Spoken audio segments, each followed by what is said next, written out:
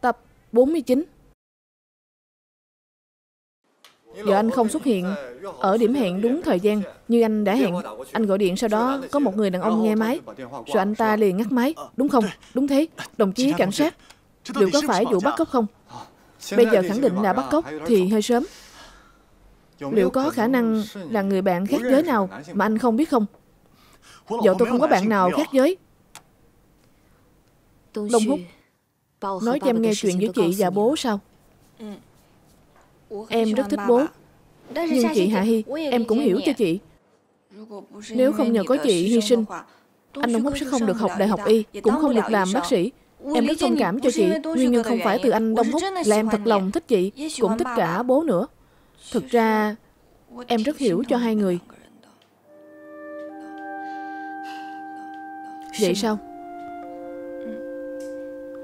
Bố là người rất tận tâm Rất biết nghĩ cho người khác. Khi em mới kết hôn với anh Đông Húc Em chẳng biết làm việc nhà. Nhưng bố chẳng bao giờ nói em Mà bố còn bảo anh Đông Húc ở bên cạnh em nhiều hơn. Chị Hạ Hy Chị cũng đã làm rất nhiều việc cho anh Đông Húc Phải bỏ biết bao tâm huyết vì anh ấy. Nếu em có em trai Chắc chắn em không thể bằng một nửa của chị.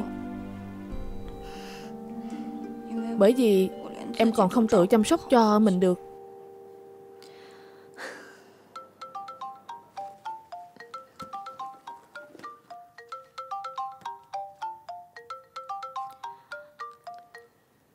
Em vào nhà vệ sinh đây. Ừ.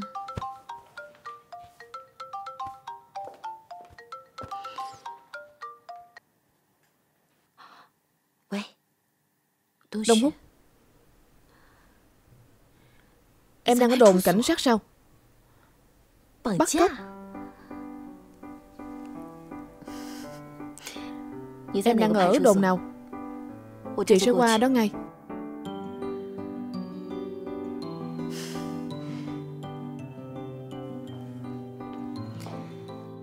Gia viên. Lúc em đi có lái xe không? Không ạ. Em nghĩ nghe nhạc xong rồi đi ăn cơm Chắc sẽ uống rượu, Nên em không lái xe đi. Chị có việc đột xuất. Hay để chị đưa em về nhà nhé. Để em gọi điện cho anh Đông Húc. Không cần đâu. Để nó lo chút cũng được. Ai bảo nó cho em leo cây.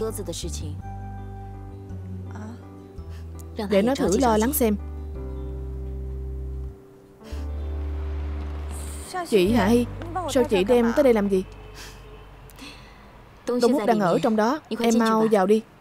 Sao anh ấy lại ở trong đó chứ.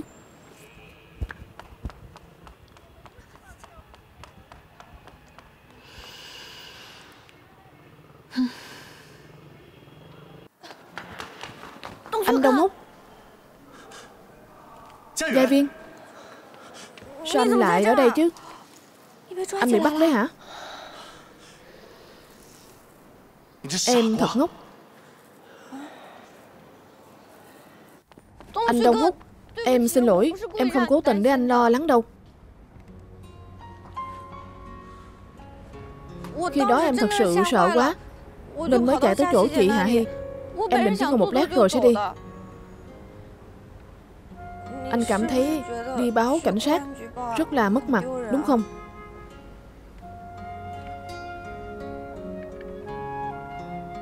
Đứng trên góc độ của em Nghe được những lời đó Rất dễ khiến người ta hiểu lầm. Em nghĩ anh như vậy sao?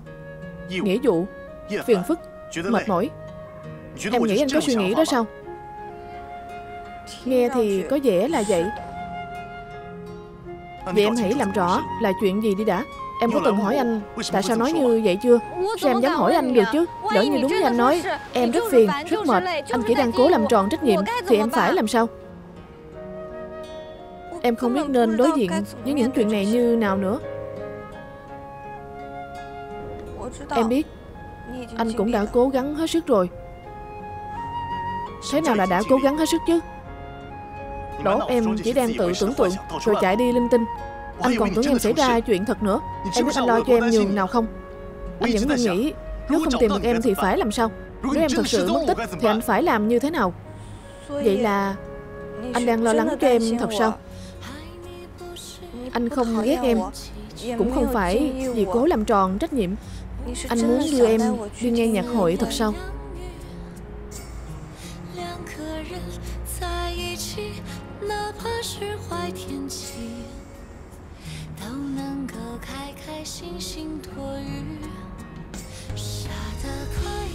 Con bé ngốc này. Lần sau em còn thử mất tích lần nữa xem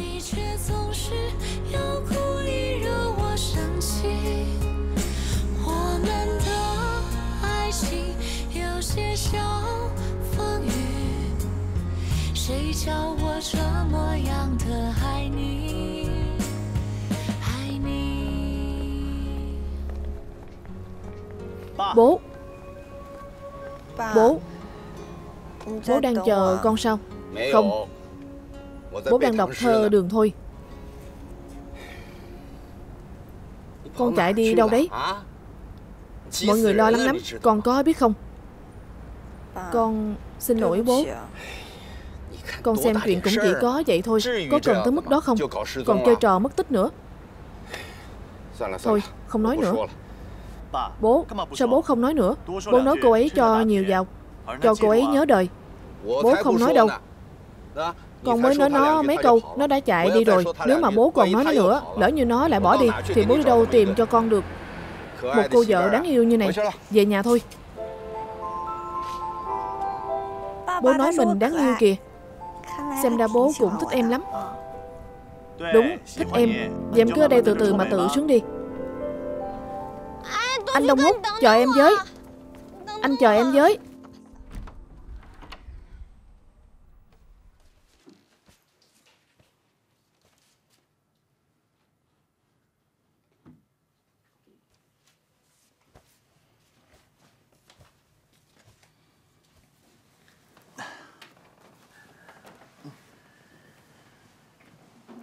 Chồng mà. Sau này em sẽ ngoan ngoãn nghe lời anh. Không bao giờ chạy đi linh tinh nữa. Em muốn sống cả đời bên cạnh anh.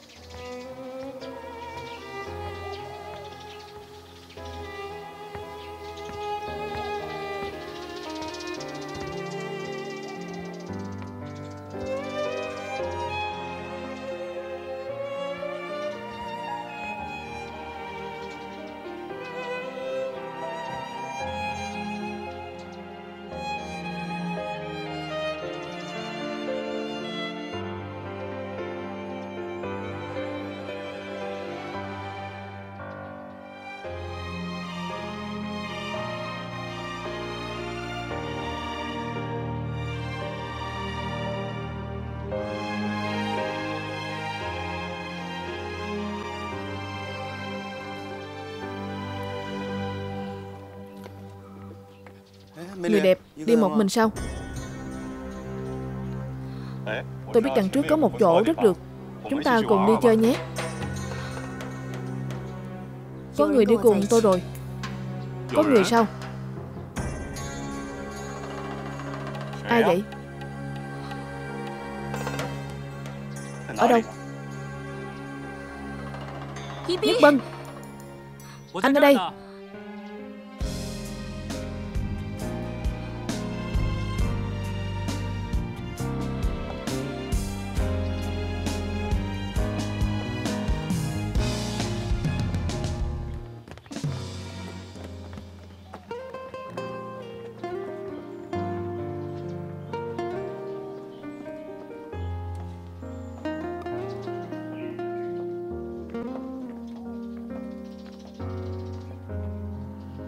tên vừa nãy định làm gì? Em có quản sợ không? Sao anh lại ở đây? Chu Yên gọi điện cho anh. Nói bỗng dưng em lại bảo đi leo núi. Anh lo cho em. Nên đi theo tới đây. Nếu em không gọi anh Vừa nãy anh cũng không xuất hiện đâu.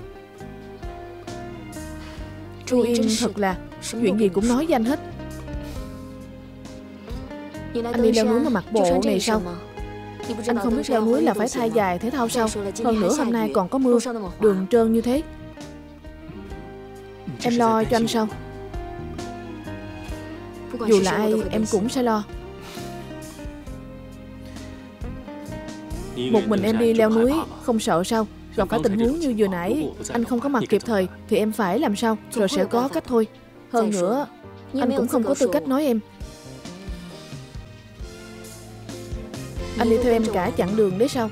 Đi theo lên đỉnh luôn sao? Em nói xem. Đi thôi. Có anh ở đây Em không phải sợ hãi nữa. Xuống núi thôi.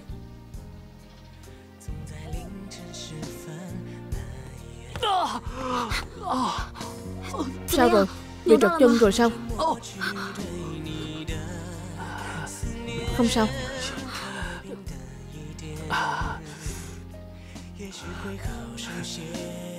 còn nói là bảo vệ em nữa.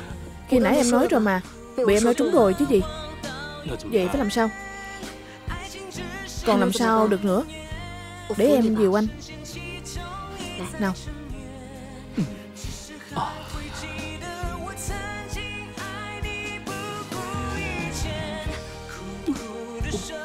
Từ từ thôi. Từ từ.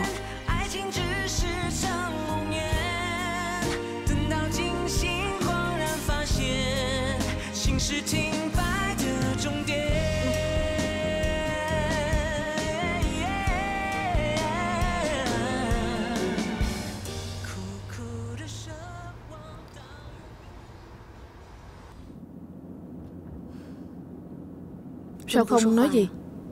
Vì anh biết em vẫn đang giận anh. Chuyện cũng đã qua rồi. Giận thì cũng có tác dụng gì? Hạ Hi, Anh sẽ không bao giờ làm thế nữa. Thực ra Anh rất không phục em. Một mình em đã phải trải qua quá nhiều chuyện. Nếu đổi lại là anh Có lẽ anh cũng gục ngã từ lâu rồi.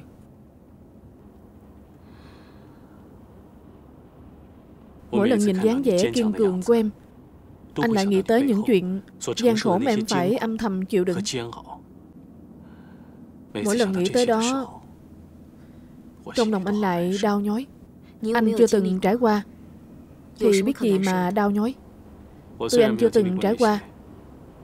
Nhưng anh hiểu cuộc sống của mỗi người. Khó tránh khỏi mắc phải sai lầm. Cũng khó tránh khỏi Có nối tiếc khó lòng mà bù đắp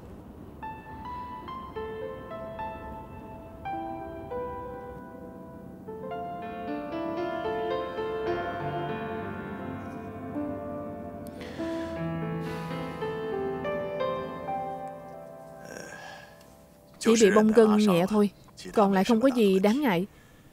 Bôi cho cậu ấy chút thuốc Sau khi trị liệu xong Quan sát mấy hôm là được. Đông Húc Có cần mời chuyên gia khám kỹ hơn không? Em đừng nghiêm trọng quá thế chứ Không cần tới chuyên gia đâu. Đúng đó Không nghiêm trọng tới mức mời chuyên gia đâu. Anh Không phải em nói anh. Anh từng tuổi này rồi Cũng nắm chiêu trò quá đấy cái gì mà anh từng tuổi này rồi? Nhất Sang, anh cảnh cáo em. Không được nói cho bố mẹ biết. Đây là bí mật giữa chúng ta. Bí mật. Đừng nhắc tới bí mật Em ghét nhất là bí mật đấy. Hạ Hy Em về trước đi. Hôm nay em cũng mệt rồi. Làm xong trị liệu. Em đưa anh ấy về cho. Chị yên tâm đi. Đúng rồi Hôm nay đừng lấy xe. Ngày mai hãy lấy. Em biết rồi. Nhất Sang Chị có chuyện muốn nói với em.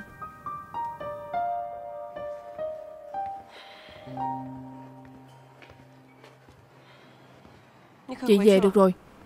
Hai chúng ta có gì để nói đâu. Nhất Sang Chị muốn nói xin lỗi em sao? Thực ra không cần. Thực ra Chị vẫn luôn muốn xin lỗi em.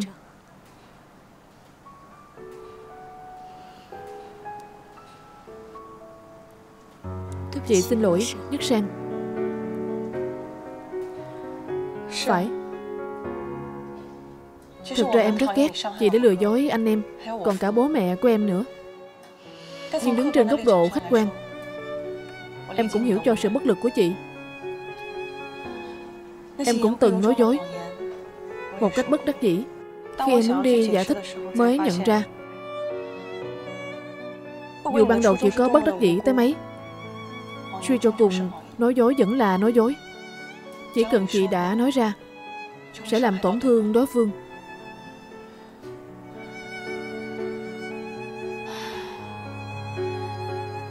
Nhưng người từng nói dối Có cần bị coi là tội nhân cả đời không? Không con người sau khi mắc sai lầm, Thì càng nên nhìn về phía trước, Tiến về phía trước. Chị Hạ Hy, Chị đừng cảm thấy mình đã sai. Vì mỗi lần nhìn chị như vậy, Em lại nghĩ tới chính mình.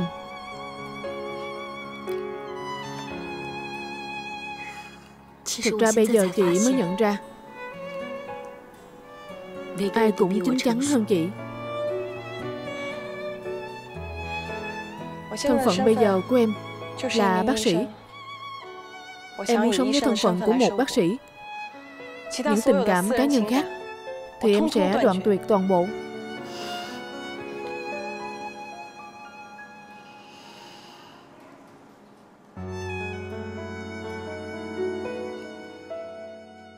Giang Nhất Bân không sao.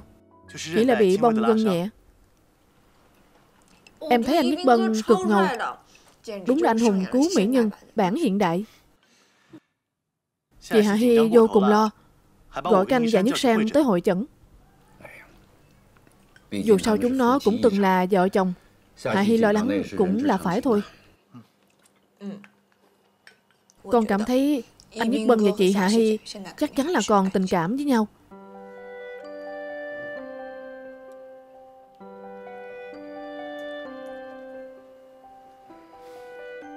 Đang yên lành. Mà đi leo núi làm gì chứ?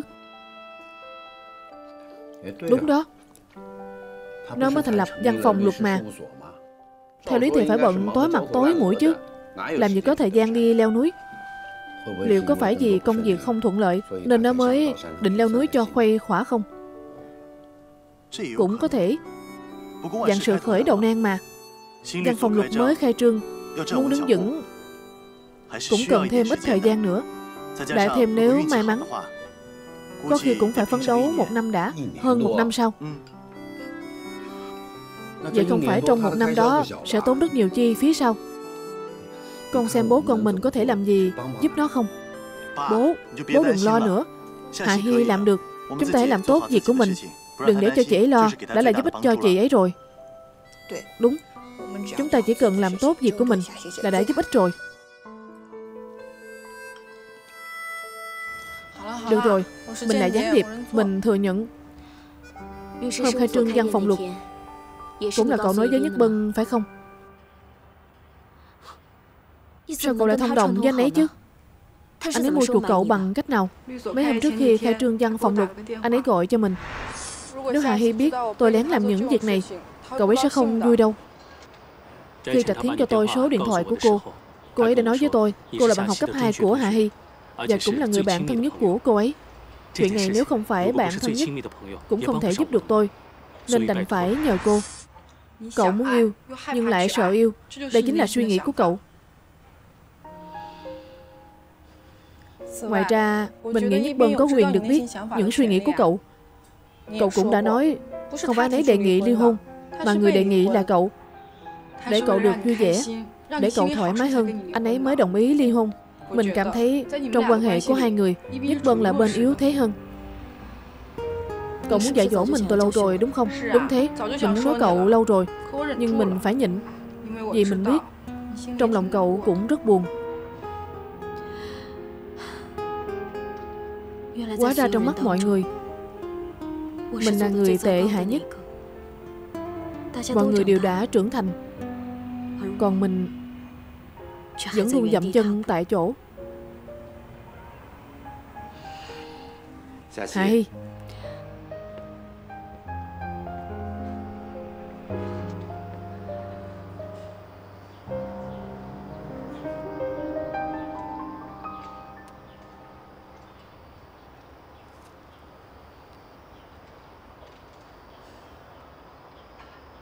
Bố đến tìm con Có chuyện gì không? Vừa thành lập văn phòng luật sư. Chắc con cũng đầu tư không ít đúng không Bây giờ chắc con cũng cần rất nhiều tiền Đúng không? Sao vậy bố? Bố biết mình không có năng lực gì. Cũng không được gì cho con. Đây là số tiền con đưa bố lúc trước đi Mỹ Bố chưa hề động vào nó. Bố vẫn giữ lại số tiền của ba năm trước. Khi con người không còn tham vọng thì cũng sẽ không còn tiêu nhiều tiền nữa. Đây là số tiền con cho bố. Con để lại cho bố đem trả nợ. Bố đã trả hết nợ rồi. Bây giờ bố cũng không dùng tới. Con cầm về đi. Hôm nay bố tới là muốn trả lại số tiền này cho con. Cũng không còn việc gì khác. Con làm việc đi. Bố về đây. Bố gặp Nhất Bân chưa? Sau khi rời khỏi công ty, bố có tới tìm cậu ấy. Bố đã nói gì với anh ấy chứ?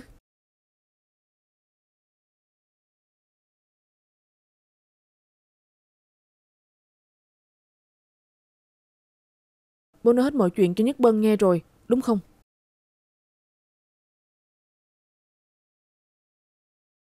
Con ghét bố, quán hận bố, những chuyện đó chỉ có mẹ và Đông Húc biết. Sao bố nói những chuyện đó cho Giang Nhất Bân biết? Tại sao bố để cho anh ấy thấy những chuyện đáng xấu hổ của con chứ? Bố xin lỗi.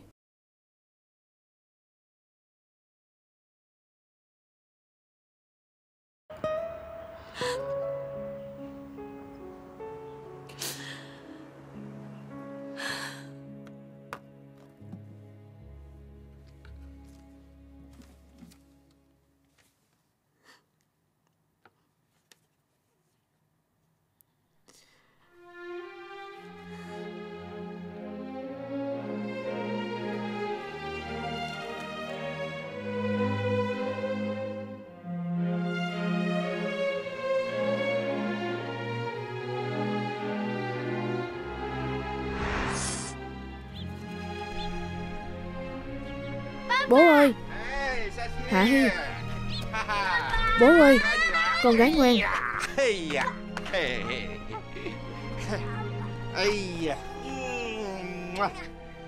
Con đang làm gì thế? Đây là thiệp cưới con làm Để mời bố tham gia đó. Con sắp kết hôn xong Còn tự thiết kế thiệp mời nữa. Dễ đẹp đó. Xem nào. Tôi sắp kết hôn rồi. Mời mọi người tới tham gia lễ cưới của tôi. Để chúc phúc cho tôi. Cô dâu Lý Hạ Hy Chú rể Lý Quốc Lương Là bố sao? Đúng thế. Lớn lên con chỉ muốn cưới bố thôi Con muốn cưới bố. Con bé ngốc. Sao con lấy bố được chứ? Vậy con sẽ lấy ai? Con sẽ lấy một người đàn ông yêu thương con nhất trên đời Người yêu con nhất là bố còn gì? Ngoài bố ra, Sẽ còn một người khác yêu con hơn. Người đó là ai? Người đó là Người đó tên là Con ốc sên. Con ốc sên sao? Thế người đó giờ đang ở đâu? Tại sao còn chưa xuất hiện? Bây giờ người đó chưa thể xuất hiện. Bố giấu người đó đi rồi. Vì bây giờ nếu người đó xuất hiện, thì sẽ đưa con đi mất. Bố không nỡ rời xa con. Vậy con ốc sên trông như thế nào? Con ốc sên Rất cao Cao hơn cả bố. Rồi nó cũng rất đẹp trai, Lại thông minh nữa, Hơn nữa còn rất men nữa. Không, Con không muốn kết hôn với người đó, Con chỉ muốn kết hôn với bố thôi. Bố ơi, Con muốn đi thảm đỏ cùng bố. Thảm đỏ cũng được. Bố sẽ cùng con đi lên thảm đỏ. Nhưng lúc đó bố sẽ làm như này. Con xem. Con khoát tay bố Rồi bố sẽ dắt con Từng bước đi trên tấm thảm đỏ rất dài. Đi đến trước mặt người đó. Sau đó trao tay con. Vào tay con ốc sên đó.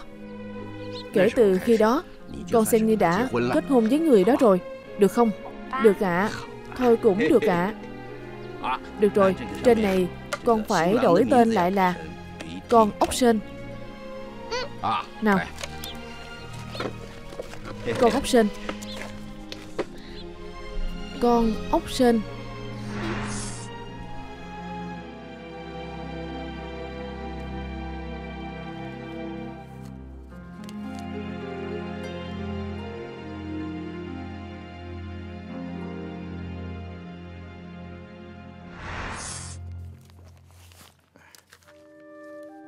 Con cầm lấy số tiền này. Sang bên đó Muốn ăn uống gì Thì tự mua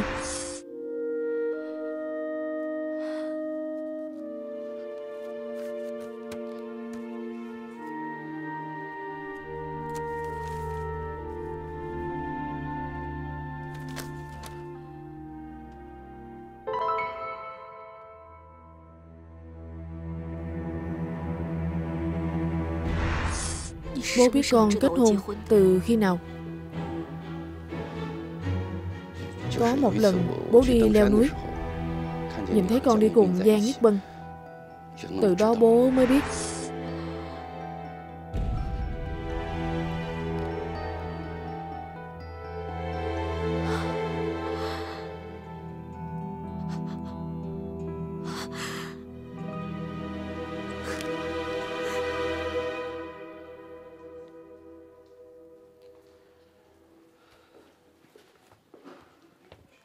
Cô Lý đúng không? Chào anh, tôi đây. Đây là những thông tin về đám cưới trước đây của cô. Cô xem đi.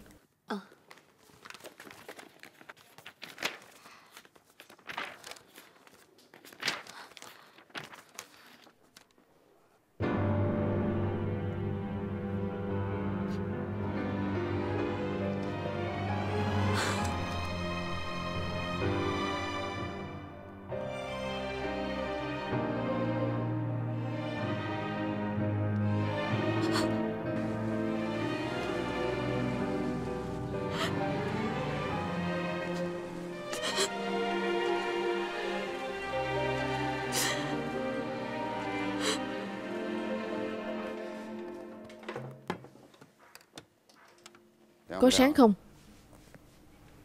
Chưa mở công tắc. Bố, hôm nay con lại học được môn mới rồi. Bố, để con ra mở cửa.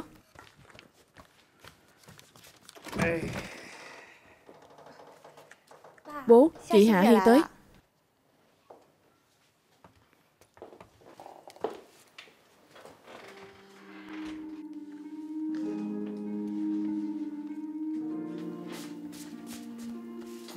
Chị Hạ Hy? Chị có muốn ăn gì không? Không cần. Sao tự dưng con lại tới đây?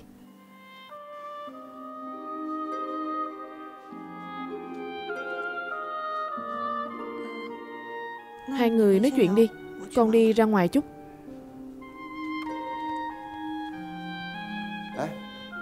Ngồi đi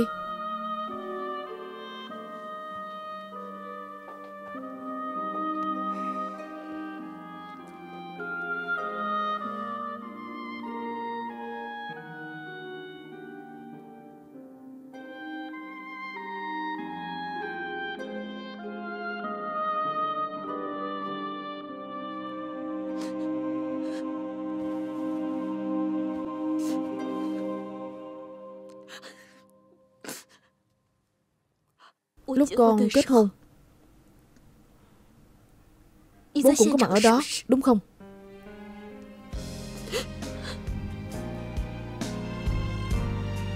Con nói sao cơ?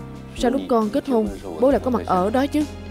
Tại sao bố không nói cho con biết? Con nói lung tung gì thế? Sao bố biết được con kết hôn từ khi nào? Con đã thấy tên bố trên danh sách bảo vệ Của công ty tổ chức sự kiện cưới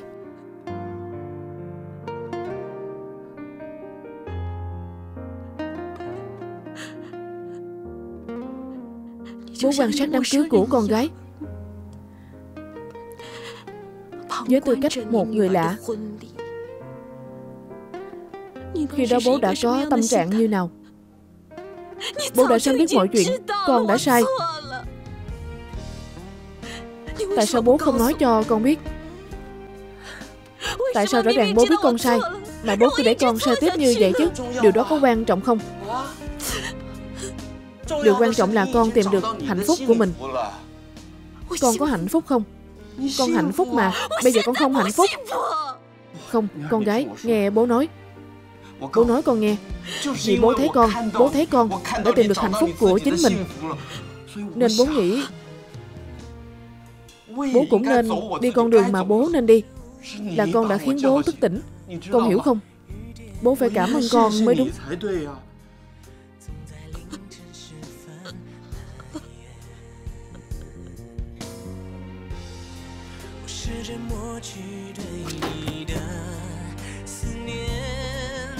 Bố Bố Con sai rồi.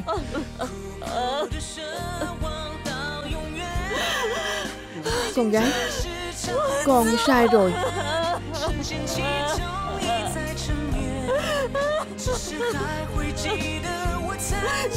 Bố có thể tha thứ cho con không? Con sai rồi.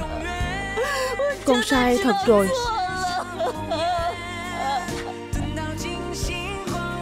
Bố. Con sai thật rồi. Con mệt mỏi lắm. Bố ơi.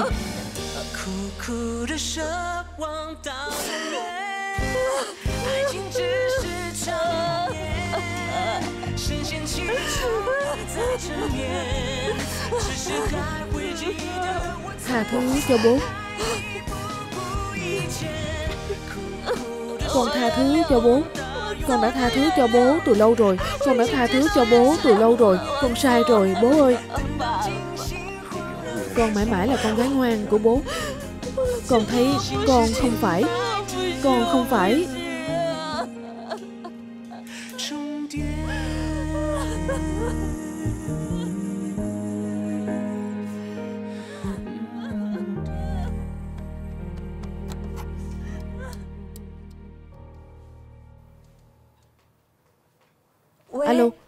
anh Đông Húc, không hay rồi, có chuyện rồi. Chị Hạ Hy tới nhà mình. Chị ấy cứ ở ngoài khóc suốt. Em không biết nên làm sao nữa.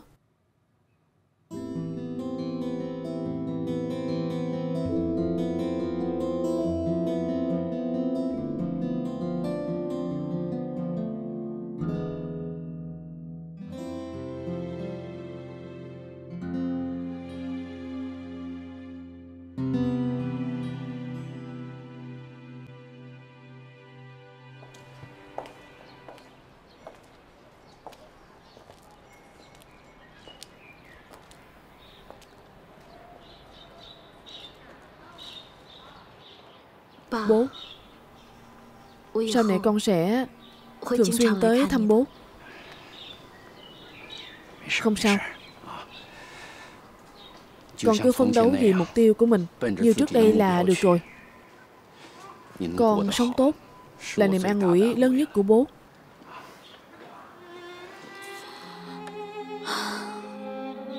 Nhất định rồi ạ. À.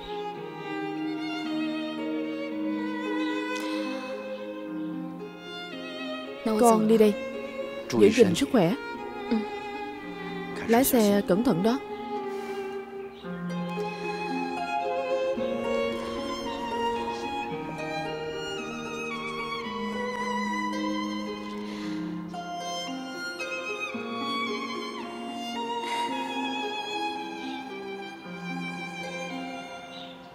Con đi đi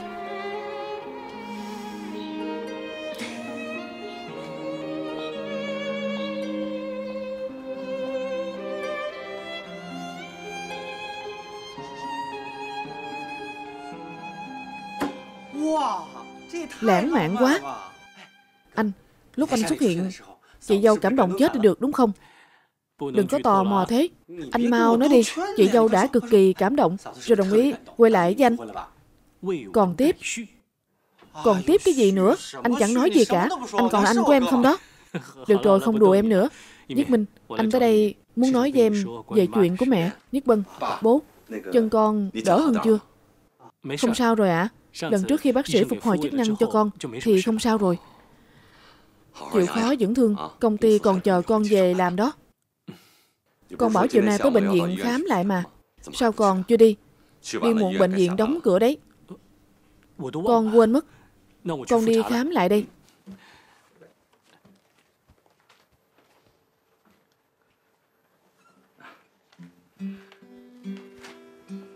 Nhất Minh Bố.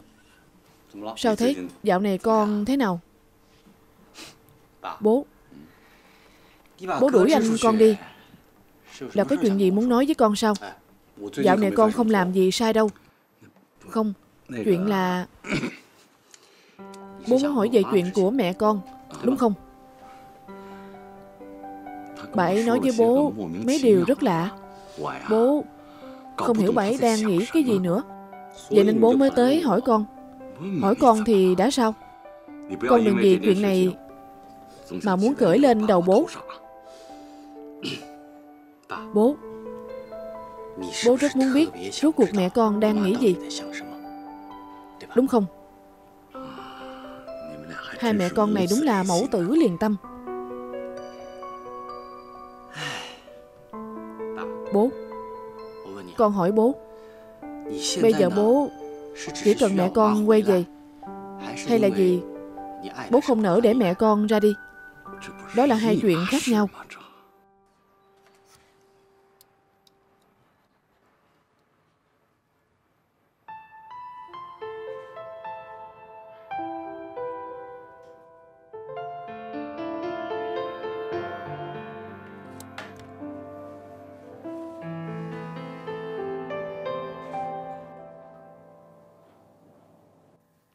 Bố giấu một bí mật lớn như vậy suốt từng ấy năm. Chắc bố phải khổ tâm lắm, đau khổ lắm. Đứng ngồi nhìn hôn lễ của em, chị mới hiểu ra cảm nhận đó. Chị đã từng tới dự sao? Em đã bảo chị về rồi còn gì? Hôm đó chị có đi, nhưng đi chưa được bao xa, chị đã quay trở lại. Vì chị muốn tận mắt chứng kiến hôn lễ của em Hạ Hy Khi đó chị thấy khi mọi người cùng chụp hình Chị mới biết chị đã mất đi những gì. Một người em trai lớn lên từ nhỏ cùng chị Cũng giống như người đồng hành nửa đời cùng chị kết hôn. Chị lại chỉ đành trốn vào một góc lặng lẽ nhìn. Khi đó chị thật sự rất buồn, rất hối hận. Khi đó chị mới biết lựa chọn của chị có ý nghĩa như thế nào? Chị tin khi bố thấy chị kết hôn, tâm trạng cũng giống như chị. Thậm chí còn khó chịu gấp dạng lần, hối hận gấp dạng lần. Chị đã bị lòng thù hận che mắt.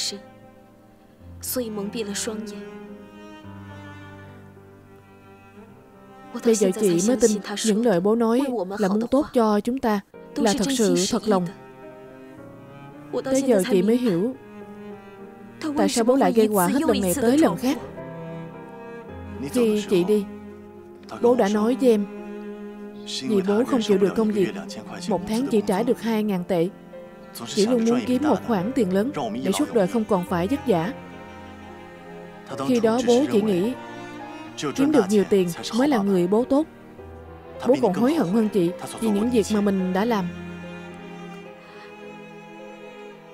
Bố đã mang tâm trạng hối cải đó Để yêu thương chúng ta hơn.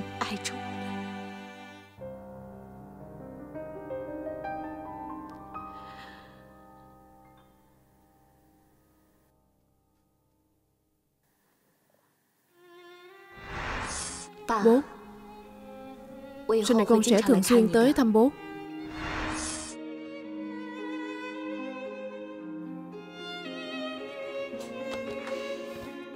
Bố. Về rồi sao?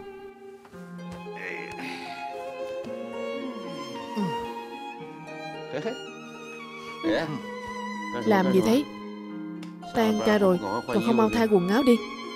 Con chỉ muốn ôm bố mãi thôi Thằng ranh này Buồn nôn quá đấy. Sao lại buồn nôn chứ? Bố là bố con. Ôm bố thì sao nào?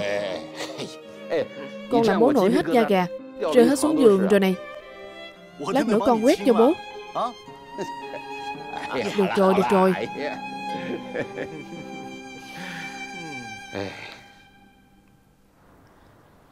Đúng rồi. Anh đã xin nghỉ được rồi. Thật sao Cuối tuần này chúng ta xuất phát được rồi. Tốt rồi. Anh nói chúng ta gọi cả bố và chị Hạ Hy đi cùng có được không? Bố và Hạ Hy sao? Em nghĩ nếu chúng ta cùng đi du lịch Thì quan hệ với họ nhất định sẽ thân thiết hơn. Gọi cả họ đi Em không sao thật chứ. Tất nhiên không sao rồi. Hai chúng ta sau này vẫn còn thời gian mà